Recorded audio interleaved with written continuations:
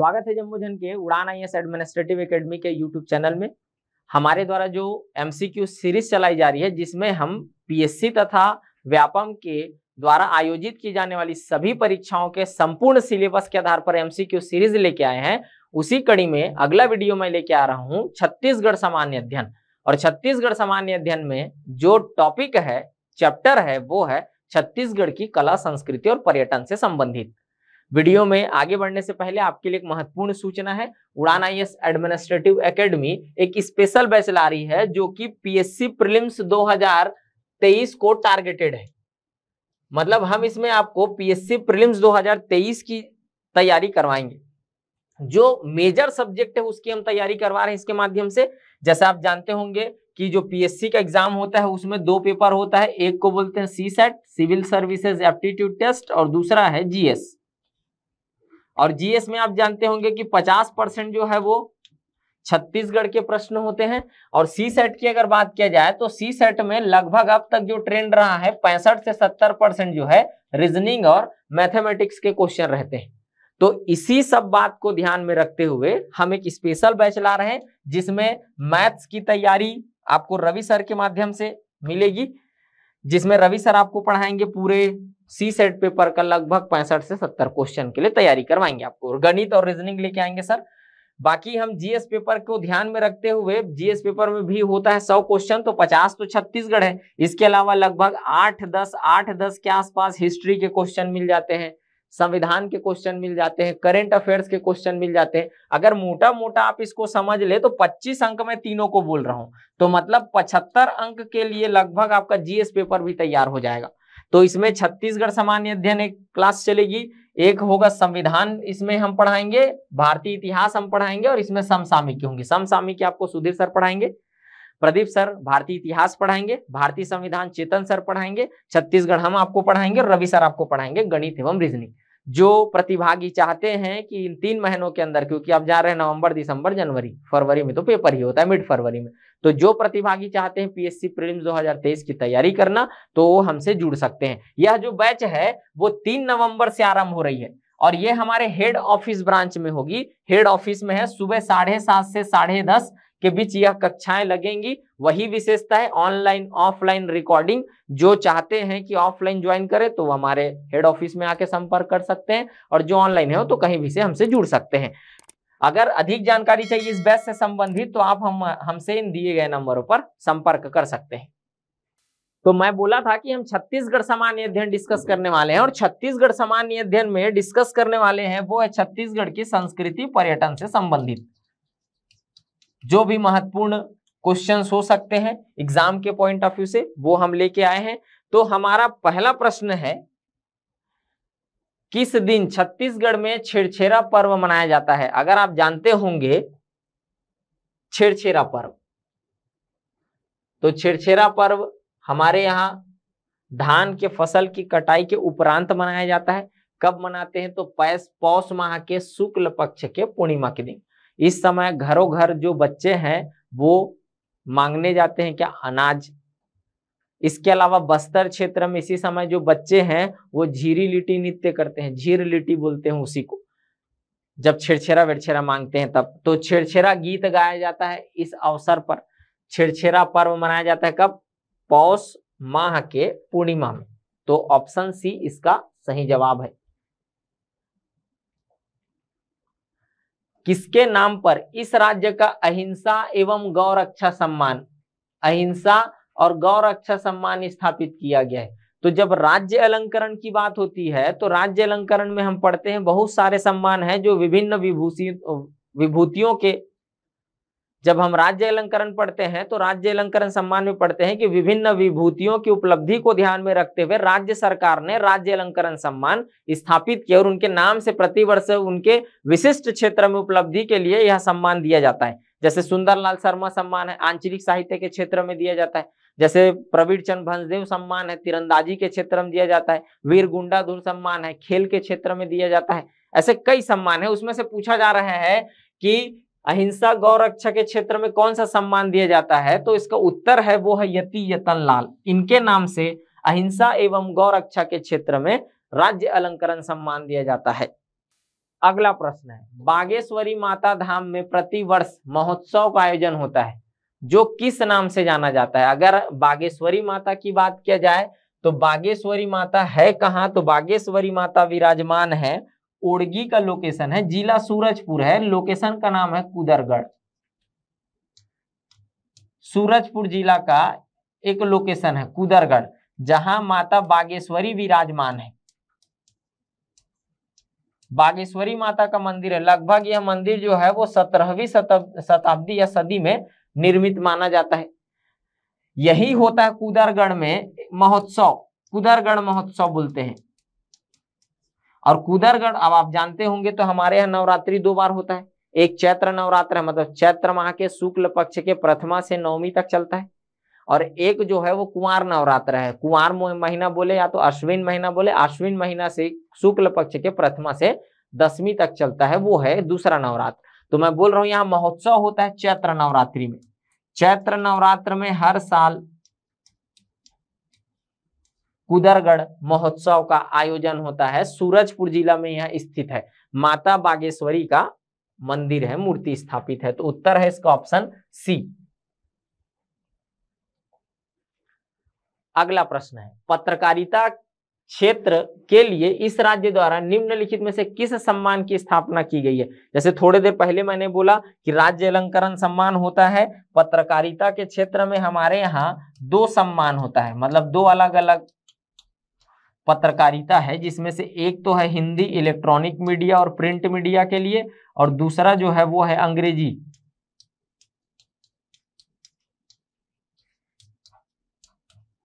Hindi electronic एवं print media के लिए दिया जाता है, जिनके नाम से दिया जाता है वो है चंदूलाल चंद्राकर जी।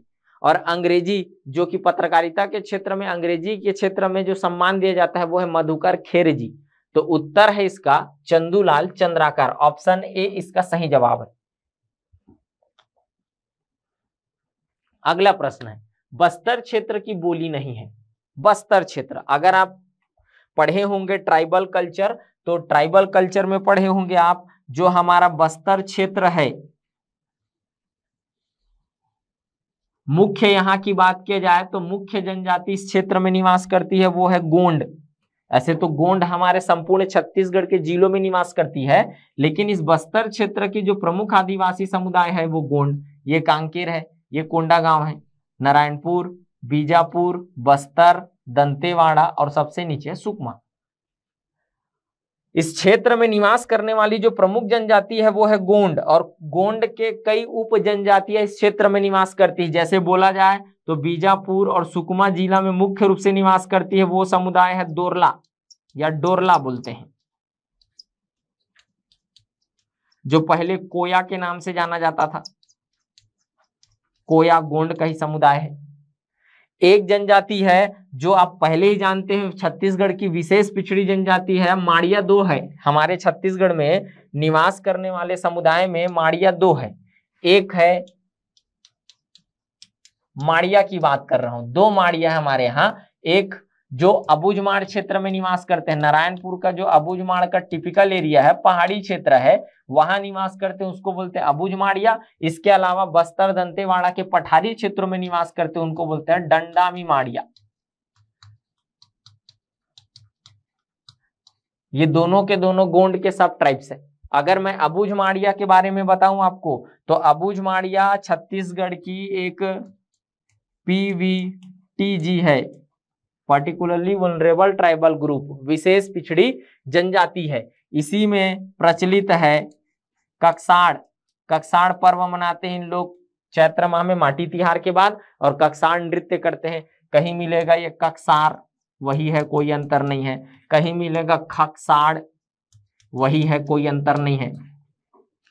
इसी अबुज माड़िया समुदाय में, क्योंकि गोंड का हिस्सा है, मैं बोल रहा हूँ, पहले से बोल रहा हूँ, माड़िया मतलब गोंड ही है। पहले से बोल रहा हूँ मैं। तो गोंड का हिस्सा है इस, इस घोटुल में जो लड़का सदस्य होता है वो कहलाता है लयोर और जो लड़की सदस्य होती है वो कहलाती है लयस्कू। घोटुल की परंपरा है और घोटुल में इन लोग जिस देवता की पूजा करते हैं वो है तालुर मुंते देव। तालुर मुंते देव की पूजा करते हैं अबुज माड़िया अपने घोटुल में। इसी अबुज माड़िया समुदाय में एक स्थानांतरित कृषि रही है जिसको बोलते हैं पेद्दा। या दिप्पा के नाम से जाना जाता है अलग अलग होता है। पेद्दा मतलब पहाड़ी क्षेत्रों में जब इन लोग पौधों को साफ़ करके वहाँ पर अनाज बोते हैं दिप्पा पहाड़ के नीचे के एरिया में जब इन लोग ऐसा करते हैं तो उसको बोलते हैं दिप्पा तो अबूझ माड़िया समुदाय बहुत ही महत्वपूर्ण समुदाय है। ये अबूझ माड़िया समुदाय है। ये अबूझ माड़ क्षेत्र में निवास करती है। ये भी गोंड के सब ट्राइब्स है। दंडामी माड़िया की बात किया जाए तो ये बस्तर, दंतेवाड़ा, बस्तर से टूट के कोंडागांव बना, दंतेवाड़ा से टूट के सुकमा बना, इन जिलों में मुख्य रूप से निवास करती है। ये भी महत्वपूर्ण है दंडामी माड़िया अगर बात किया जाए दंडामी माड़िया की तो दंडामी माड़िया समुदाय जात्रा पर्व के दौरान एक नृत्य करती है, कोहक लगा के। कोहक मतलब जानते होंगे आप जो जंगली जानवर है बायसन बायसन के जो सिंग है, उसको कौड़ियों से सजा के एक मुकुट टाइप का बनाया जाता है, जिसको बोलते हैं कोहक। और इसी कोहक को धारण करके इन लोग नृत्य करते हैं, गौर नृत्य, यात्रा पर्व के दौरान। यात्रा के दौरान इन लोग गौर नृत्य करते हैं। अबुझ दंडामी माड़िया समुदाय। दंडामी माड़िया समुदाय में दूसरा चीज़ याद रखेंगे तो दूसरा चीज़ क्या है इस दंडामी माड़िया समुदाय के लिए? तो दंडामी माड़िया समुदाय की दूसरी विशेषता यह है, इससे जोड़ सकते हैं आप किसको? गोंड को। यह गोंड का सब ट्राइब्स क्योंकि माड़िया सब ट्राइब्स है तो ये भी सब ट्राइब्स होगा। गोंड का सब ट्राइब्स है, दंदामी मारिया तो गौर नृत्य के लिए प्रसिद्ध है यह जनजाति। गौर नृत्य किया जाता है, ये आप याद रख सकते हैं। गोंड वहाँ से बता दियो तो जोड़ सकते हैं आप। ये कहा निवास करती है? तो अब इसको ड्रॉ कर रहा हूँ मैं, ये निवास करती है कहा? तो मैंने बोला कि मारिया का समुदाय है, नारायणपुर में निवास करती है। कहीं आप कुछ भी पढ़ रहे होंगे तो आप करेक्शन कर लेंगे भाई। कहाँ से करेक्शन करेंगे तो फिर आप वेबसाइट सर्च कर सकते हैं गवर्नमेंट का, वहाँ से मिल जाएगा Abujh Maria C G T R T ऐसा वेबसाइट है तो आप देख सकते हैं। फिर ये है आपका कोंडागांव, बस्तर, दंतेवाड़ा और सुकमा। इन जिलों में निवास करती है दंडामी माड़िया। मुख्य रूप से। एक और समुदाय है, आप जानते हैं गोंड की फ़ेमस समुदाय है मुरिया बोलते हैं, मुरिया। नारायणपुर, कोंडागांव, बस्तर, इसकी मुख्य जो निवास है वो इन जिलों में है। मुरिया जनजाति इसी दंडामी माड़िया जिन जिन जिलों में रहते हैं, उन्हीं जिलों में अधिक जनसंख्या के साथ निवास करती है भतरा। भतरा जनजाति। भतरा है। बस्तर में मुख्य रूप से, ये बस्तर है। बस्तर में निवास करती धुरवा। परजा, उन्हीं का नाम है। गदबा और पूरा बस्तर क्षेत्र और इसके सीमावर्ती ज़िले। इसके सीमावर्ती ज़िले कहने का मतलब क्या? इधर है मोहला, मानपुर, अंबागढ़ चौकी, ये है बालोद, ये है धमतरी। तो मोहला, मानपुर, उसके ऊपर राजनांदगांव राजनांदगांव, मोहला, बालोद, धमतरी, इन जिलों में और इसके अलावा बस्तर के क्षेत्रों में एक समुदाय निवास करती है, वो है हलवा। छत्तीसगढ़ का सर्वाधिक संपन्न समुदाय बोलते हैं। हलवा समुदाय, सर्वाधिक साक्षर समुदाय है। साक्षरता दर 2011 सेंसस के अकॉर्डिंग सबसे अधिक है हलवा समुदाय में। अब ये सब क्यों बताए हूँ? तो जानना है आपको, अब इनकी कुछ ना कुछ बोलियाँ होंगी। जो गोंड है उन लोग अधिकतर गोंडी बोलेंगे। उनका नाम उस जनजाति के नाम से होगा। लेकिन यहाँ पर जो गोंड नहीं है, उस पर काम कर रहे हैं अपन। गोंड नहीं है कौन? इसको खींचने का कारण यही था, उसी पर काम करना है कीजिए। गोंड नहीं है कौन? हलवा गोंड नहीं है यहाँ, भतरा भतरा गोंड नहीं, भतरी नहीं ना भाई, भतरा। वो मन बोली बोलते तेरा कहते भतरी। तो भतरा और हलवा गोंड नहीं है। हलवे, हलवा लोग हलवी बोलते हैं, भतरा लोग भतरी बोलते हैं। अब ये गोंड नहीं है। तो यहाँ बोली थारे लेकिन गोंड नो हरे था। ये मन बोलते बाकी मन का, धुरवा मन, धुरवी, परजी, गदबी, दोरली अबुज माड़िया, मुरिया, ओकर नाम से ही कहलाते सब गोंडी बोलते। अते जाना तो बस की हलवा अधिक संख्या में है नीचे तनी। हलवा मन हलवी बोलते तो बस्तर की संपर्क बोली बोल देते हैं इसी को। बस्तर क्षेत्र में जो कन्वर्सेशन का अधिकतम माध्यम है, वो है हलवी। अब देख ले ऑप्शन तो समझ आ जाए गदबी बोलहिच भतरी बोलहिच हलवी, एक चीज़ नहीं दिखेगा सदरी। सदरी कौन मन बोलते पहाड़ी कोरोमन ऊपर तनी। तो ऑप्शन है, नहीं है बोलते थे तो ऑप्शन है का? ऑप्शन बी सदरी। अगला प्रश्न है अंतरराष्ट्रीय बौद्ध सम्मेलन का आयोजन प्रतिवर्ष 6 फरवरी को कहा की जाती है? अंतरराष्ट्रीय बौद्ध सम्मेलन का आयोजन होता है, हर साल 6 फरवरी को होता है, ये डोंगरगढ़ में। डोंगरगढ़ में। अगर मैं 2023 के इस अंतरराष्ट्रीय बौद्ध सम्मेलन के सीक्वेंस की बात करूँ तो जो आईएमपी है, तीसवा नंबर का यहाँ पर आयोजन हुआ है अंतरराष्ट्रीय बौद्ध सम्मेलन का। अब डोंगरगढ़ कहाँ है, ये मुद्दा है। तो डोंगरगढ़ सबो कोई जाना था उस अगर राजनांदगांव में है का? डोंगरगढ़। राजनांदगांव में ही वो डोंगरगढ़, जहाँ हर साल 6 फरवरी को होता है अंतरराष्ट्रीय बौद्ध सम्मेलन, तेईस का है तीसवा। इसके अलावा और कुछ चीज़ें हैं जो इससे से जोड़ सकते हैं आप। अभी जान रहे होंगे चक्रधर समारोह, इस पर क्वेश्चन मिलेगा ही आपको। चक्रधर समारोह, पहला तो ये कहाँ होता है ये जानना है। तो चक्रधर समारोह कहाँ होता है? रायगढ़ में होता है। और ये कब होता है? तो ये गणेश चतुर्थी में होता गणेश चतुर्थी में होता है।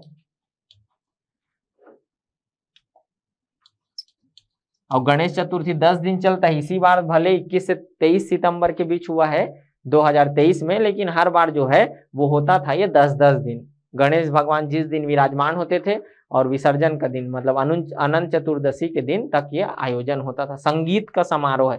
राजा चक्रधर की स्मृति में इस परंपरा की शुरुआत हुई, की गई है उन्नीस में। अब पचासी में चले है तो ये पहला हो सका। अब तेईस में हो है कहा तो रिसेंट में तो ये कोई ना कोई तो क्रम हुई ना। तो अभी जो हुआ है वो है अड़तीसवा अड़तीसवा हुआ है क्या? चक्रधर समारोह, यहाँ से ये जोड़ लेंगे करंट की घटना है। यही रायगढ़ में भी हुआ है, जानते हैं अरण्य कांड के थीम पर क्या?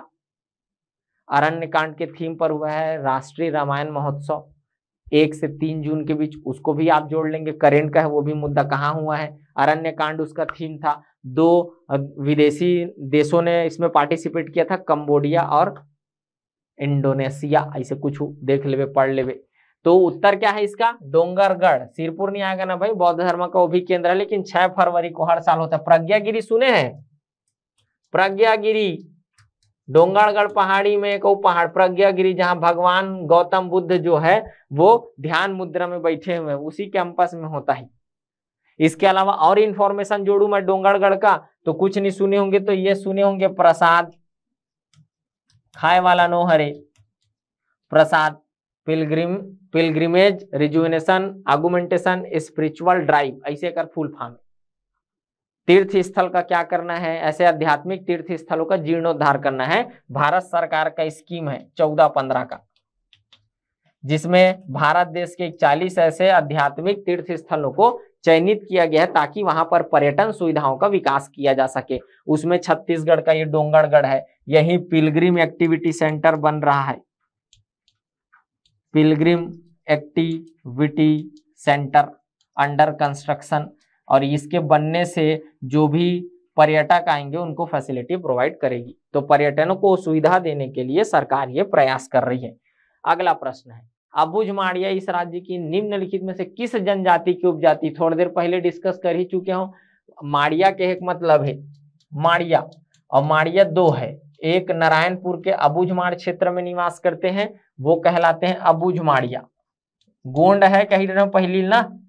अबुझमाड़िया जो अबुझमाड़ में रहते एक विशेष पिछड़ी जनजाति है।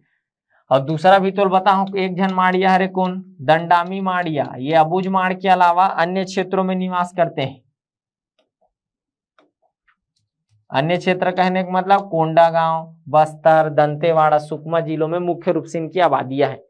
तो आबादी इनकी मुख्य रूप से इन जिलों में है, ये दंडामी माड़िया। गौर नृत्य इसमें होता है, ऐसा कुछ बता दिया यात्रा पर्व के दौरान। तो अबुझ माड़िया को पूछा जा रहा है कि किसकी उप अब काकर उपजाति थे खुदे जान रहे कौन? गोंड समुदाय के उपजाति, गोंड की उपजाति। ये वही दंडामी माड़िया है, जिनमें मुरिया के साथ मृतक स्मृति स्तंभ की परंपरा है। मृतक स्मृति स्तंभ बनाते हैं। अब ये क्या होता है? जब इनके परिजनों का डेथ होता है तो जनरली आदिवासी समुदाय में शव को दफनाने की परंपरा है। और जब पहले शव को दफनाया जाता था तो स्मृति स्वरूप में बड़े बड़े पत्थर छोड़ के आ जाते थे लेकिन आज वर्तमान में ऐसा नहीं होता है। आज इन लोग मस्त कंक्रीट से उन, उनकी स्मृतियों को उसमें अंकित कर देते हैं और वही उसको गाड़ देते हैं स्थापित कर देते हैं। मृतक स्मृति स्तंभ की परंपरा। तो उत्तर है गोंड ऑप्शन ए सही जवाब है इसका। प्रश्न है निम्नलिखित में से किन्हें पद्म भूषण सम्मान प्राप्त नहीं हुआ है? पद्म भूषण की बात हो रही है। तो आपको अगर पता होगा तो पद्म भूषण हमारे छत्तीसगढ़ में अब तक तीन ही जन मिले। हमन प्रथन का पद्म अलंकरण।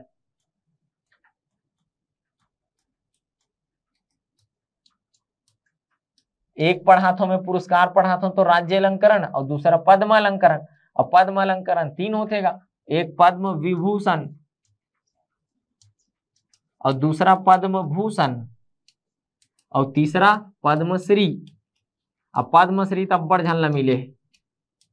मुकुटधर पांडे जी से कहानी शुरू हुई 1976 में, छत्तीसगढ़ के पहले पद्मश्री। अब तेईस के तोल याद रखना है सगा, एग्ज़ाम के पॉइंट ऑफ़ व्यू से तीन झल मिले। उषा बारले जी है, अजय कुमार मंडावी जी है, और डोमार सिंह कुंवर जी है, तेईस में। विभूषण एक झल मिले है ख्याति लब्ध महिला है, कौन? तीजन बाई जी। तीजन बाई जी मिले हैं 2019 में।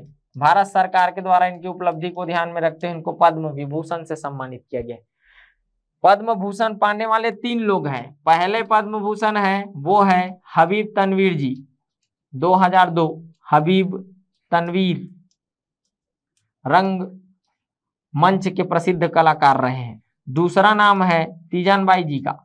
तीजन बाई एक ऐसी पर्सनालिटी है जिनको तीनों सम्मान मिल चुका है। 1987 के वो पद्मश्री है 2003 के वो पद्म भूषण है और 2019 के वो पद्म विभूषण है। एकमात्र पर्सनालिटी हमारे प्रदेश में, जिन्होंने मान बढ़ाया है, गौरव बढ़ाया छत्तीसगढ़ महतारी का, तीजन बाई जी।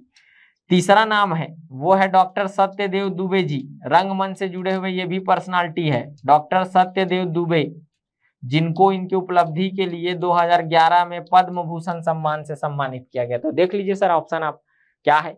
तीजन बाई जी को तो मिला है, सत्यदेव दुबे जी को मिला है, हबीब तनवीर झाड़ू राम देवांगन। झाड़ू राम देवांगन कौन है? देवांगन जो है वो पंडवानी से संबंधित है। इनको छत्तीसगढ़ में फादर ऑफ़ पंडवानी बोलते हैं। पंडवानी के जनक जिन्होंने पंडवानी लोक गाथा को प्रसिद्धि दिलवाने में अहम भूमिका निभाई, वो है झाड़ू राम देवांगन जी। अगला प्रश्न है, सर। पांडव विकास अभिकरण निम्नलिखित में से कहा स्थित है? ये जानना है। तो पता हुई विशेष पिछड़ी जनजाति सुनता हैं। 1973 यूसी ढेबर कमेटी ने रिकमेंड किया तो इसी आधार पर प्रिमिटिव ट्राइबल ग्रुप का कॉन्सेप्ट आया। प्रिमिटिव ट्राइबल ग्रुप ये कॉन्सेप्ट आया 1973 में। मतलब ऐसा समुदाय, जनजाति तो है, लेकिन ऐसा समुदाय जनजातियों में जिसमें कुछ मापदंड को लेकर पिछड़ापन है। क्या है मापदंड, सर? इसको नाम देने का। तो एक मापदंड है, सर, इनका जो आवास है, वो एकदम दुर्गम क्षेत्र होना चाहिए। टिपिकल एरिया, पहला दूसरा मापदंड क्या है, सर? तो दूसरा मापदंड है, इसमें शिक्षा का स्तर निम्न होना चाहिए। निम्न शिक्षा का स्तर। तीसरा मापदंड क्या है? तो तीसरा मापदंड है, इसकी जनसंख्या या तो स्थिर हो गई है या ऋणात्मक हो रही है, बढ़ नहीं रही है समय के साथ। और चौथा मापदंड क्या है? तो इसमें कृषि की आदिम परंपरा रही हो, जिसको हम स्थानांतरित कृषि बोलते हैं। तब इन्हीं चार मापदंड के आधार पर किसी भी समुदाय को भारत सरकार ट्राइबल में से ही विशेष पिछड़ी जनजाति का दर्जा दे सकती है। ये प्रयास किया गया था 1973 में।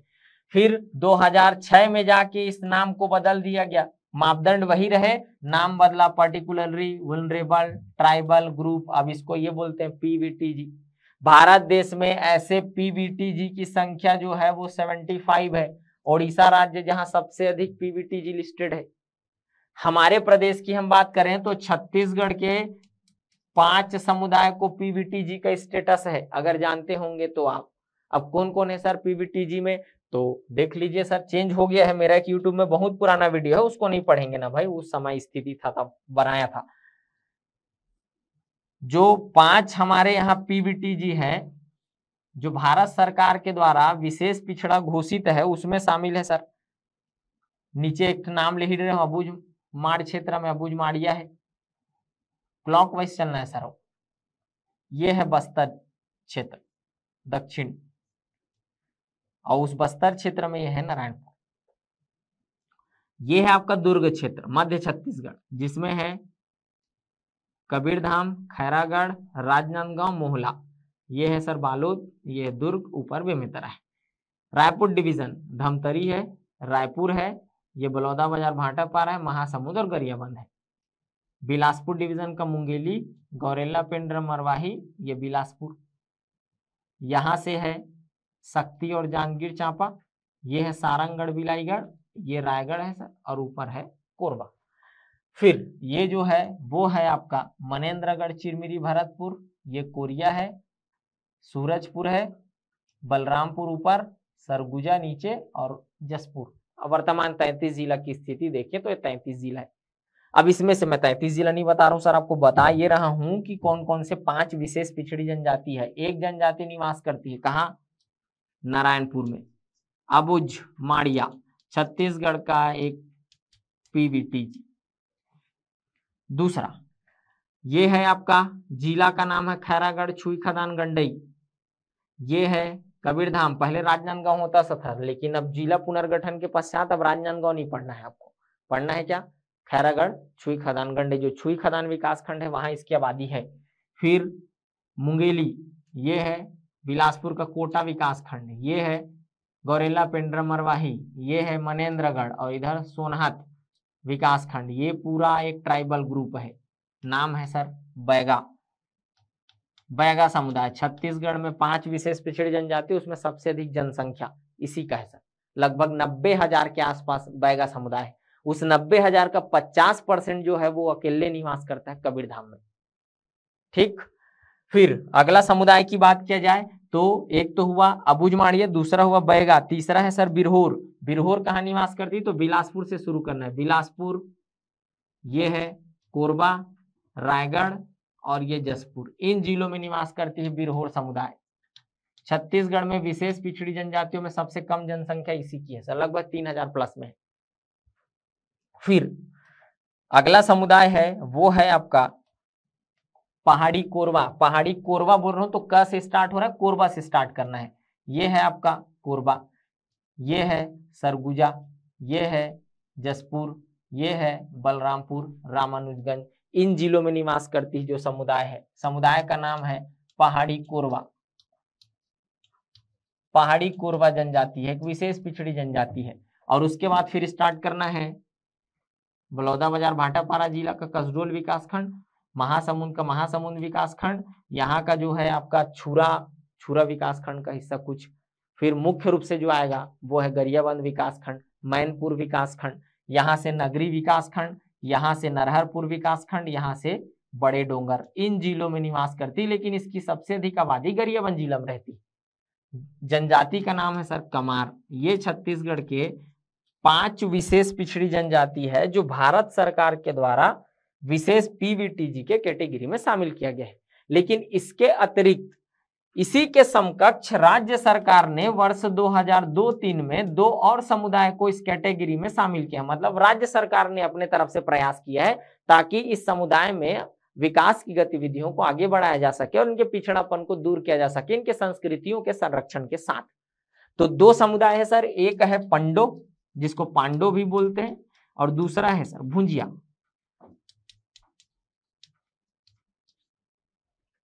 पंडो और भुंजिया समुदाय है। अब ये निवास कहाँ करते हैं? ये मुद्दा है। तो ये जो है आपका महासमुंद, ये गरियाबंद और ये धमतरी। महासमुंद, गरियाबंद, धमतरी जिलों में निवास करती है सर, भुंजिया जनजाति। भुंजिया नाम पढ़ने का इतिहास बताते हैं सर कि इन लोग अपने जब रोग होता था इनको तो रोगों का इलाज इन लोग शरीर को, आँख के, भूंज के करते थे। आज भी ग्रामीण क्षेत्रों में होता है सर, देखिएगा। गाँव वाले लोग हंसिया को गर्म करते हैं, मस्त तेल टपकाते हैं, फिर उसके बाद आंकते हैं। आज इसी को मेडिकल में पंच कर्म बोला जाता है। देखियो बस आँख भी प्रोसेस होते। उसने मन है इलाज मतलब आँख आँख के भूंज भूंज के करते थे करते थे, भूंजिया नाम पड़ गए कथे इसी भूंजिया समुदाय में होता है सर, क्या? एक किचन, रसोई घर, जिसको लाल बंगला कहते हैं। बहुत अच्छा यहाँ पर संस्कृति है। लाल बंगला सम गोत्री लोग ही इसको उपयोग करेंगे। बहुत अच्छा ही। लाल बंगला। आप मेंस पढ़ेंगे तब जानेंगे क्या विशेषता है इसकी। तो लाल बंगला इन्हीं में प्रचलन है। इन्हीं में तीर विवाह का भी प्रचलन है सर। जैसे किसमें तीर विवाह होता है? बिंझवार में होता है, वैसे इसमें भी तीर विवाह होता है। कहने का मतलब ये कि लड़की का मेंसुरेशन साइकिल जैसे शुरू होता है, विवाह करा दिया जाता है तीर से। फिर जैसे वो शादी योग्य हो जाती है तो एक्चुअल विवाह होता है। ये मिलेगा आपको, भुंजिया समुदाय। पंडो कहाँ रहती है सर? तो पंडो समुदाय निवास करती है, ये है आपका। जिला, जहाँ पर पंडो का वास है, कोरबा, रायगढ़, सरगुजा, बलरामपुर, सूरजपुर। इन जिलों में पंडो निवास करती है और पंडो समुदाय राज्य सरकार के द्वारा स्टेटस दिया गया एक विशेष पिछड़ी जनजाति है। इसी पर प्रश्न है, सर। प्रश्न है, पंडो विकास अभिकरण निम्नलिखित में से कहाँ स्थित है? अब हर इन जनजातियों को स्टेटस दिया गया है इनके पिछड़ेपन के कारण। मतलब ऐसा विशेष पिछड़ी जनजाति जो नाम दिया गया है। अब पिछड़ापन दूर करना है तो कुछ ना कुछ एजेंसी चलाना पड़ेगा सर, जो योजनाओं को, जो इनसे संबंधित जो भी गतिविधि है, उसका क्रियान्वयन करे। तो उसके लिए एजेंसी स्थापित की गई है, अधिकरण बोलते हैं इसको। तो अधिकरण कहाँ कहाँ है? अभिकरण अभिकरण बोलते हैं इसको। अभिकरण कहाँ कहाँ है? तो अब जनजाति के हिसाब से सर, कहाँ कहाँ अभिकरण है? मैं पहले वो पाँच को डील कर रहा हूँ, जो पाँच विशेष पिछड़ी जनजाति आपको बताई गई है। तो छत्तीसगढ़ में जनजाति से संबंधित योजनाओं के क्रियान्वयन के लिए तो इन समुदाय को लाभ देने के लिए अभिकरण स्थापित है। पहले पाँच पर बात कर रहा हूँ, सर। पाँच जो समुदाय है, उसके लिए छह अभिकरण संचालित है और प्रकोष्ठ बनाया गया है। और ऐसे प्रकोष्ठ की संख्या दस, कहीं नौ पढ़ रहे होंगे तो चेंज कर लीजिएगा। जिलों के पुनर्गठन के पश्चात एक नया प्रकोष्ठ बन चुका है। ठीक? अब मैं आप ही को पूछता हूँ, आप ही बताइएगा। भाई, अबूझमाड़ क्षेत्र में एक जनजाति निवास करती अबूझमाड़िया। तो उसके संबंधित योजनाओं के क्रियान्वयन के लिए वही आसपास ही एजेंसी होगी तब ज़्यादा बेहतर है। ऐसा तो नहीं है कि अबूझमाड़ में लोग रहते हैं और आप एजेंसी जगदलपुर में खोल दिए। तो बेचारा वो योजना के बारे में जानकारी लेने के लिए, उसका लाभ लेने के लिए जगदलपुर तक आएगा। ऐसा तो हो ही सकता है। तो कहाँ होगा अबूझ माड़िया विकास अभिकरण, नारायणपुर में। इधर देखिए सर, ये पूरा बैगा लोग हैं। तो बैगा समुदाय के लिए है कहाँ? बैगा विकास अभिकरण, कवर्धा में। कवर्धा ना, कबीरधाम लिखा मिलेगा आपको। कवर्धा में। फिर आगे चलिए सर आप इससे। आगे चलेंगे तो ये है आपका गौरेला पिंडर मरवाही तो वहाँ है बैगा विकास अभिकरण, गौरेला पिंडर मरवाही बैगा विकास अभिकरण। ये नया चेंज है सर। हो गए के ठन? फिर तीसरा इधर से तीन ना, ये अबूज माड़िया और यहाँ दो जगह बैगा, कवर्धा और गौरेला पिंडर मरवाही। फिर आप आगे बढ़ेंगे तो ये है जनजाति ग्रीन कलर का बिरहोर। बिरहोर और पहाड़ी कोरबा को लेना है। जसपुर में एक अभिकरण है सर, बिरहोर एवं पहाड़ी कोरबा विकास अभिकरण। हुआ कितना? चार। पांचवा, ये है सर, पहाड़ी कोरबा अंबिकापुर। तो अंबिकापुर में है पहाड़ी कोरबा विकास अभिकरण। पहाड़ी कोरबा के लिए, पहाड़ी कोरबा विकास अभिकरण। अंबिकापुर में याद रखना हो। गए पाँच, एक मिसिंग है तो वो है कमार गरियाबंद में है। तो ये छह विकास अभिकरण है किनके लिए? इन विशेष पिछड़ी जनजातियों के लिए। पाँच है उसके लिए। अब इसी के समकक्ष राज्य सरकार के द्वारा स्थापित किया गया है क्या? दो विकास अभिकरण। अब आप देख ही रहे कहाँ निवास कर रही है पंडो? पंडो का निवास कोरबा, रायगढ़, सरगुजा, बलरामपुर, सूरजपुर। तो इसके लिए अभिकरण स्थापित किया गया सर यहाँ, सूरजपुर में। सूरजपुर में अभिकरण है, सर। इसका ऑफ़िस जो है, इस एजेंसी का ऑफ़िस जो है, वो सूरजपुर में है। और दूसरा, भुंजिया के लिए कहाँ होगा? तो भुंजिया के लिए गरियाबंद में है। गरियाबंद में इसके लिए अभिकरण का गठन किया गया है राज्य सरकार के द्वारा। 2002-3 में उसी समय स्टेटस दिया गया तो उसी समय इन अभिकरणों का गठन है। आप देख लीजिए, आप कहा, उत्तर क्या होना चाहिए, सर, आपका? उत्तर होना चाहिए, पंडो विकास अभिकरण के लिए उत्तर जो है, वो है ऑप्शन सी। अगला प्रश्न है, नाडापल्ली गुफा किस ज़िले में स्थित है? उसूर क्षेत्र में आप चलेंगे तो बहुत सारी गुफा है, जिसमें से एक नाडापल्ली है, आवापल्ली है, उसूर गुफा है, सकल नारायण गुफा है। ये सब आपको बीजापुर जिला के उसूर विकास खंड के रूप में वहाँ के गाँव में दिख जाएगा, सब गुफा है। इसके अलावा ऐसी पल्ली टाइप के देखिए तो लंका पल्ली है। ये वाटरफॉल है, लेकिन अहुल फुलो फुलो में गुफा नहीं ठोक देना है। वाटरफॉल है लंका पल्ली है, बीजापुर जिला में। तो नाडापल्ली गुफा कहाँ है? तो उत्तर होगा इसका, बीजापुर। प्रश्न है सर, धनकुल निम्नलिखित में से किस प्रकार का वाद्य यंत्र है? धनकुल के बारे में बात किया जाए तो धनकुल, अब आदिवासी वाद्य यंत्र को हम बांटते चार भाग में।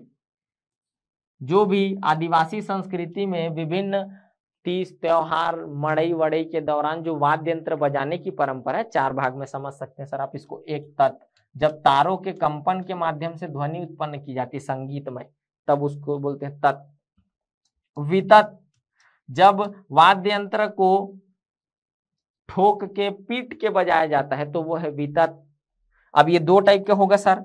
दू नो तनिल पीट बेता द्विमुखी हुई, एक तनिल पीट बेता। एक मुखी हुई, जैसे तबला, हमार तनी का हाथ होता। एक मुखी है, लेकिन ढोलक ला पीट का हुई? द्विमुखी दोनों तनिल पीटा था, जैसे होकर तनी मांदर, पराग।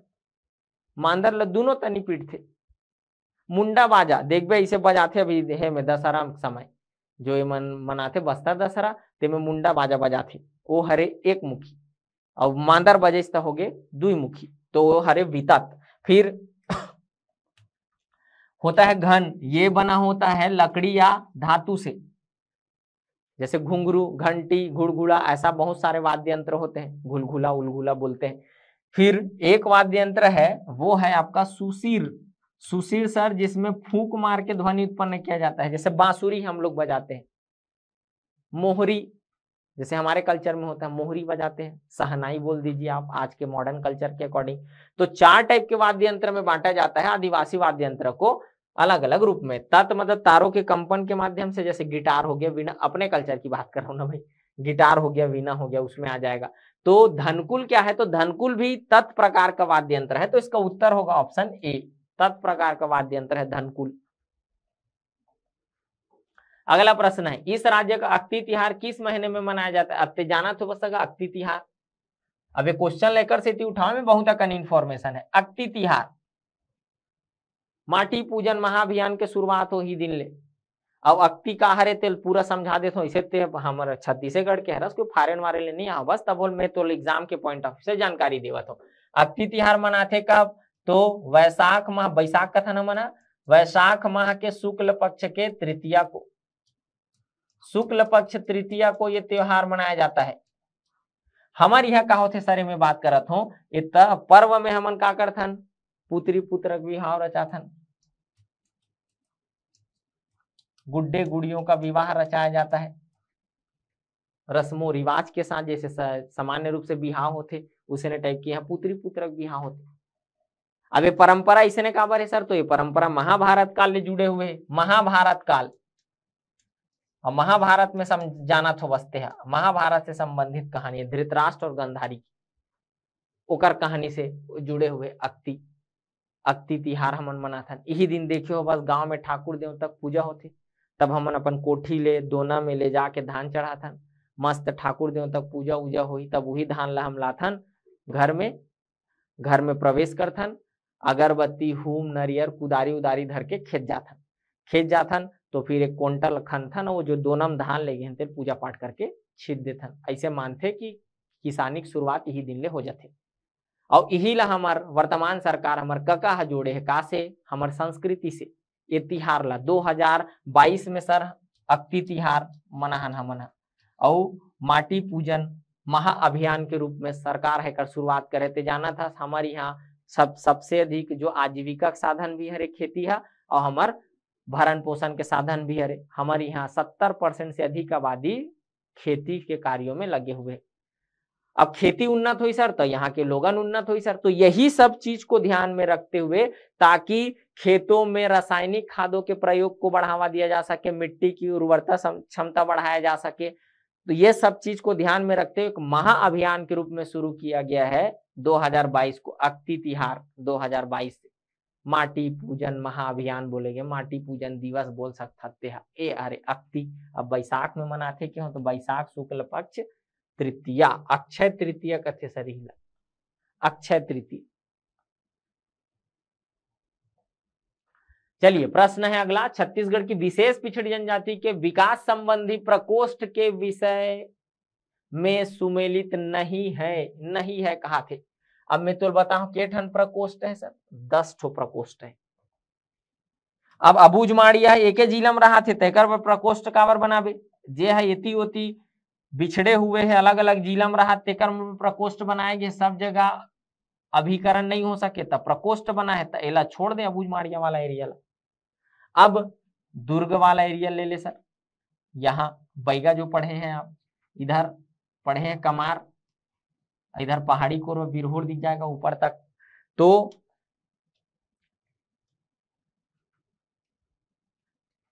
सबसे पहले मैं बताऊँ कि दस ठो प्रकोष्ठ है, वो थोड़ा पता हो तो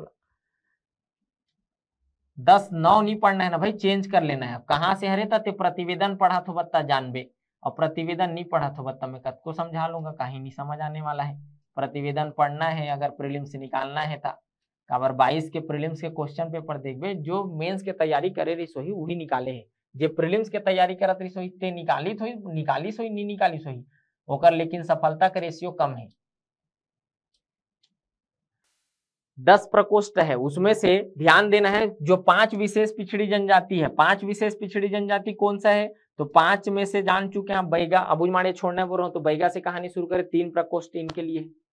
बैगा के बाद बिरहोर है, बिरहोर समुदाय के लिए बिलासपुर में एक प्रकोष्ठ आपको मिल जाएगा।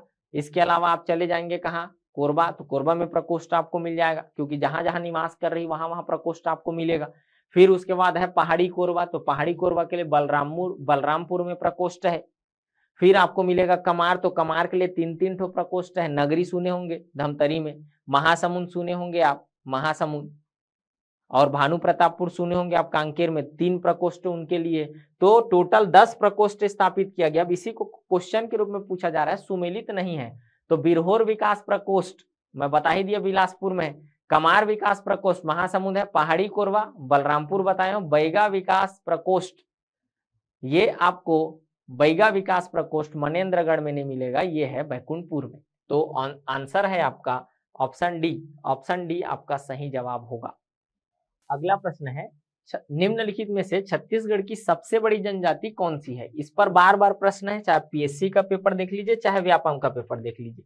अगर हम जनजाति जनसंख्या की बात करें, जनगणना 2011 के आंकड़ों के अनुसार तो हमारे यहाँ अठहत्तर लाख बाईस हज़ार नौ सौ दो ये जनजाति की जनसंख्या है, जो कि छत्तीसगढ़ की कुल जनसंख्या का two double five four five one nine eight का परसेंटेज शेयर रखता है thirty point six two percent. इस पर भी प्रश्न है, ये भी मस्ट है। तीस दशमलव छह दो प्रतिशत आबादी हमारे यहाँ जनजाति वर्ग में आता है। अगर हम देखें क्रम कुछ प्रमुख रूप से जनजातियों की तो छत्तीसगढ़ में सबसे बड़ी जनजाति समुदाय है गोंड। इसकी आबादी है बयालीस लाख अंठानवे हज़ार चार सौ चार सेंसस ग्यारह के अकॉर्डिंग अगर आप इस बयालीस लाख अंठानवे हज़ार चार सौ चार का अठहत्तर लाख बाईस हज़ार नौ सौ दो में स्थिति निकाले तो ये आपको मिलेगा 54.95 अप्रोक्सीमेट मैं बोल रहा हूँ, लगभग हमारे 55 परसेंट जो ट्राइबल है, वो गोंड में आता है। फिर दूसरी बड़ी जनजाति है, वो है कंवर। फिर उसके बाद उराव की बारी आता है, मध्य छत्तीसगढ़ में मुख्य रूप से कंवर लोग रहते हैं। उत्तर छत्तीसगढ़ में एक प्रमुख जनजाति है, वो है उराव। फिर आता है दक्षिण छत्तीसगढ़ की एक जनजाति, वो है हलवा। ये चार प्रमुख आबादी है जनसंख्या के आधार पर। सेंसस 11 की बात करो ना, सेंसस जनगणना 2011 हुआ है, उस आधार पर यह कहानी है। अब सबसे बड़ी जनजाति कौन है? तो नो डाउट आंसर होगा, गोंड। अब थोड़ा सा इसमें ट्राइबल पर थोड़ा और अगर मैं बात करूँ तो जान, जानकारी होगा आपको कि इसमें जो है, लिंगानुपात, जनजाति में जनजाति में लिंगानुपात जो है, वो है वन ज़ीरो टू ज़ीरो एक हज़ार पुरुषों में महिलाओं की संख्या एक हज़ार बीस है। अगर आप साक्षरता में जानते होंगे तो साक्षरता इस समुदाय में है fifty nine point zero nine percent. उनसठ दशमलव शून्य नौ प्रतिशत या लगभग एक प्रतिशत बोल सकते हैं। साक्षरता की स्थिति है। फिर इसका वितरण हम पढ़ते हैं, चाहे इसकी जनसंख्या को लेकर हो, चाहे लिंगानुपात को लेकर हो, चाहे साक्षरता को लेकर हो, आंकड़ा हम पढ़ते हैं। अब मैं थोड़ा सा आपको बता दूँ तो सेंसस के आंकड़ा भले तैतीस जिलों पर जारी हो गए हैं, इसके आंकड़ा तैतीस जिलों पर जारी हुआ है, ग्यारह का आंकड़ा, लेकिन हर पॉइंट को जारी नहीं किया गया है। तो मेरा एक अनुभव के आधार पर आपको तर्क होगा कि आज आप सत्ताईस जिलों के हिसाब से पढ़िए, ज़्यादा बेटर है। क्योंकि इसी पर ही क्वेश्चन आपको मिलेगा, क्योंकि हर आंकड़ा तैतीस जिलों पर जारी नहीं हुआ है। हर आंकड़ा। जनजातियों की साक्षरता की स्थिति जारी नहीं हुआ है, जनजातियों का प्रतिशत इस पर जारी नहीं हुआ है। तो जो भी हमसे जुड़े थे, हमसे पढ़े हैं, छत्तीसगढ़ सामान्य अध्ययन, वो एकदम हड़बड़ाए नहीं। आप 27 जिलों पर ही आंकड़ा को पढ़ लीजिए, चाहे मेंस के पॉइंट ऑफ़ व्यू से हो, चाहे व्यापम, चाहे प्रिलिम्स अगला प्रश्न छत्तीसगढ़ की कौन सी जनजाति आर्थिक रूप से सर्वाधिक संपन्न है? आर्थिक रूप से सर्वाधिक संपन्न जनजाति की बात किया जाए तो उत्तर है इसका हलवा। अब हलवा क्यों है सर? तो हलवा की अगर बात किया जाए तो इनकी उत्पत्ति का पता चलता है हल और मूसल से। और इसी में ही चिवड़ा बनाने का पोहा जिसको आप बोलते हैं सर, इसी हल से इन लोग खेती करते थे और मुसल मतलब उससे कूटते थे और इन लोग बनाते थे चिवड़ा, पोहा। इनका परंपरागत व्यवसाय रहा है। यही समुदाय जो है वो मुख्य रूप से कृषि करती है सर। और इसमें मुख्य रूप से अधिकतर जो लोग हैं, वो है कबीर पंथी। और कबीर पंथ समझते हैं सर आप, मांस मदिरा का सेवन जो मनाही है, आडंबर की मनाही है, ऐसे समुदाय जो है, वो कबीर पंथ को फॉलो करते हैं। और अधिकतर हमारे यहाँ जो भी ट्राइबल ग्रुप्स है, उनके चाहे भौगोलिक विशेषता के कारण हो या किसी अन्य कारणों से हो, ये शिकार की गतिविधि में रहे, खाद्य संग्राहक समुदाय है तो इसमें मदिरा का सेवन आम बात है सर। और इसमें मांस मदिरा, मांस के साथ शिकार करके मांस वास खाने की परंपरा रही है। लेकिन ये भी आदिवासी होने के साथ साथ इन इन सब चीज़ों में अन्य चीज़ों से जुड़ने के कारण कबीरपन से जुड़ने के कारण, कृषि गतिविधि करने के कारण सक्षम रूप से है छत्तीसगढ़ में सक्षम समुदाय बोलते हैं, आर्थिक रूप से वो है हलबा। और इन्हीं में सर सबसे अधिक साक्षरता है, जितने भी ट्राइबल ग्रुप्स है हमारे यहाँ, उसमें सबसे अधिक साक्षर जनजाति 2011 के जनगणना आंकड़ों के अनुसार बात किया जाए तो सबसे अधिक साक्षरता दर इसी में सर लगभग सत्तर सत्तर परसेंट अधिक इसकी आबादी साक्षर है। छत्तीसगढ़ में कौन सी जनजाति अधिक विशिष्टता असुरक्षित जनजाति समूह ये पीवीटी जी की बात कर रहा है सर। अब आप आंसर तो समझ ही गए होंगे, क्या होगा? अबुझ माड़िया ये एक विशेष पिछड़ी जनजाति है। प्रश्न वही है, इसका उत्तर आप हमको कमेंट बॉक्स पे दे सकते हैं, क्योंकि बता दिया हूँ मैं। सर्वाधिक साक्षर जनजाति, देखिए, अब कोई भी कहीं बुक पढ़ रहे होंगे, मैं बात कर रहा हूँ, मैं जो पढ़ता हूँ, उस बुक की बात कर रहा हूँ, मैं पढ़ता हूँ छत्तीसगढ़ समग्र। और ये निकाला था ग्रंथ एकेडमी छत्तीसगढ़ राज्य ग्रंथ अकादमी इसका पब्लिकेशन है। और ये पब्लिश हुआ था सर 2013 में, फिर यही रिप्रिंट हुआ सर 2015 में। बदलाव कुछ नहीं हुआ, बस उसकी कॉपी रिप्रिंट कर दी गई थी 2015 में। अब 13 और 15 में रीप्रिंट हुआ तो मूल एडिशन है 13 सर। तो इसमें लिखा हुआ है, मैं नहीं लिखा हुआ है, नहीं बोल रहा हूँ, इसमें लिखा हुआ है कि छत्तीसगढ़ की सबसे साक्षर जनजाति है सर, उराव। और पीएससी इस पर आंसर भी लिया है। पीएससी इस पर आंसर भी नहीं लिया, नहीं बोल रहा हूँ, उराव आंसर भी लिया है। लेकिन अब मुद्दा क्या है, ये मैं बात कर रहा हूँ। 2013 में, अब ये आंकड़ा संकलित किया गया होगा। तब इसको पब्लिश किया गया होगा। अब 13 में तो हमारे पास जनगणना के फाइनल आंकड़े आए नहीं थे, क्योंकि अप्रैल 2013 में आंकड़ा आया है। और उससे पहले आंकड़ा कलेक्शन हुआ रहा होगा तो इसमें लिखा होगा वो 2001 के सेंसस के आंकड़ों को लेकर जैसा भी। तो ऐसा था 2001 के सेंसस के अकॉर्डिंग उराव सबसे अधिक साक्षरता दर इसका सर्वाधिक था। लेकिन आज इनका साक्षरता दर 67 परसेंट है। मैं बोला हूँ 70 परसेंट के साथ हलवा है। अब टी के वैष्णव की बुक पढ़ेंगे आप तो आपको मिल जाएगा सेंसस 11 के अकॉर्डिंग पूरा दिया। वो भी ग्रंथ एकेडमी पब्लिश की है। तो सर, अब पढ़ना है आपको क्या? क्योंकि अब वो आउटडेटेड है। अब पढ़ना है टी के वैष्णव जी की, जो 11 सेंसस पर आंकड़े हैं तो पढ़ना अब यही है आपको। छत्तीसगढ़ की सर्वाधिक साक्षर जनजाति कौन है? तो हलवा ही उत्तर होगा। हलवा के बाद प्रधान है, फिर उराव है। तो सबसे अधिक साक्षर है हलवा।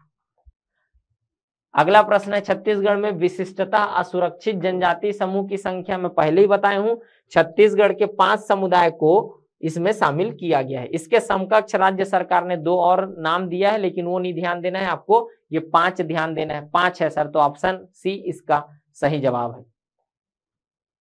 अगला प्रश्न है, चौसेला एक प्रकार का खाली स्थान है। क्या है सर चौसेला? अगर आप जानते होंगे तो चौसेला खाए होंगे कभी। चौसेला के एक मतलब सर हरे का, सोहारी। पूरी कथन जी चौसेला ही हरे सर, पूरी। अब हमारे यहाँ दो सोहारी बनते एक सोहारी बनते गेहूँ आटा की। गेहूँ आटा सोहारी बनते अब एक सोहारी बनते चावल आटा की। जो चावल आटा सोहारी बनते तिल कथन सर चौसेला। एकड़ से बनते हो चौसेला। लेकिन एला भाई वो जो पूरी चपके में चपाक मत देवे, पूरा, पूरी चपके छिदिर बिदिर हो जाए छदा जाही एला हाथ में मैं बढ़िया तेल लेके पो पोके टपले तेर में डार थे ओ हरे चौसेला, पूरी हरे है। तो कहा हरे सर? आभूषण है, पकवान है, ये तो जान रहे सब कहा हरे। पकवान है छत्तीसगढ़ के चौसेला। ये है छत्तीसगढ़ के कुछ महत्वपूर्ण प्रश्न। मुलाकात होगी आपसे अगले वीडियो में, तब तक के लिए जय जोहार, जय छत्तीसगढ़।